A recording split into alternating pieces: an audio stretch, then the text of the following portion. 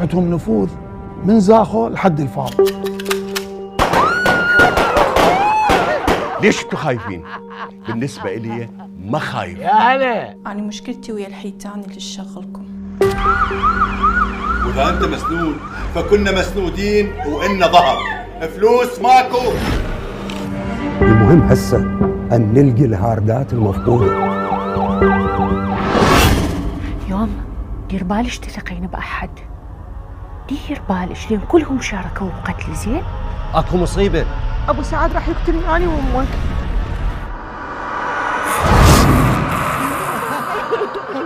لأن لا إحنا اللي هجرنا ولا إحنا اللي فجرنا. يجي يوم تدورون على حفرة تختنون بيها مثل اللي طلع بيها ما تدري